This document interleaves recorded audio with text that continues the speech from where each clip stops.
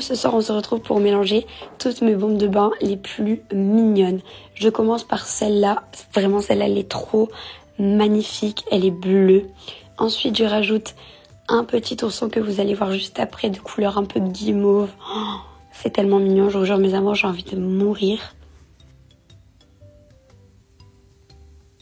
Là, à ce moment-là, il y avait plein de petites pétales, etc. qui se dégageaient des boules. Oh, j'adore. Je rajoute un petit ours polaire et je vous rajoute aussi qu'ils sont périmés.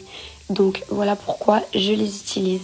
Celui-là, il a vraiment un effet un peu comme du lait. C'est incroyable. Je rajoute une petite théière et là, c'est le moment de la vidéo où tu vas me dire en commentaire, à ton avis, sans tricher, de quelle couleur sera l'eau du bain à la fin. C'est parti.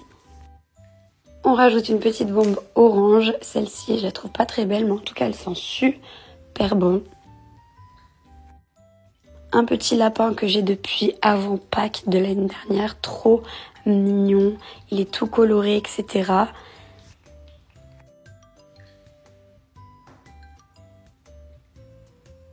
Pour le moment, voilà ce que ça donne. L'eau du bain est grise, donc je vais écraser toutes mes petites bombes de bain qu'il me reste pour diluer la couleur. Et bien sûr, après, je vais mélanger tout ça et dites-moi si vous aviez bon en commentaire.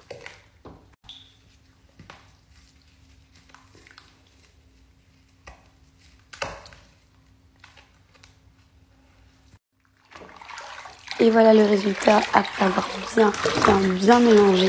L'eau est devenue orange. Je vous fais des gros bisous mes amours. Mouah